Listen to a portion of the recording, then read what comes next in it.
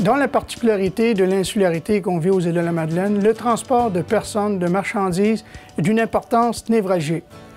Dans les dernières années, la CTMA a travaillé activement au renouvellement de sa flotte. Pourquoi? Pour répondre à sa mission. Sa mission, qui est simple, c'est d'assurer un service fiable, efficace et de bien répondre aux besoins des Madelinois.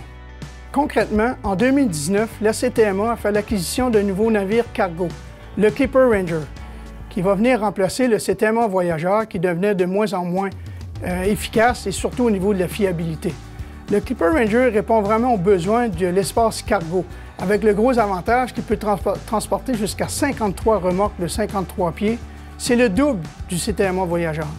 En juillet 2020, Transport Canada confirme l'achat d'un navire, le Villa des Terras, qui remplacera le Madeleine qui fait la liaison entre les îles de la Madeleine et l'île du Prince-Édouard.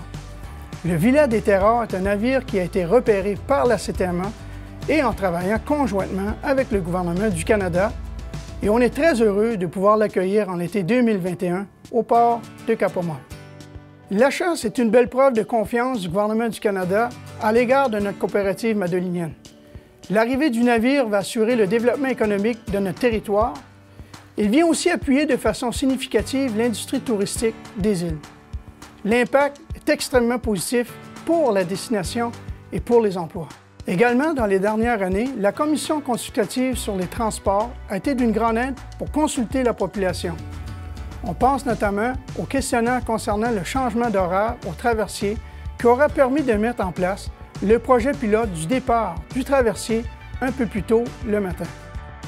Aussi, avec la pandémie et la bulle atlantique, il a été convenu avec la Commission consultative sur les transports de retarder le départ du traversier à partir de Souris pour permettre d'améliorer les conditions des voyageurs. Comme vous pouvez le constater, ça a beaucoup bougé dans les derniers mois. Le transport de personnes et de marchandises restera toujours au cœur des priorités.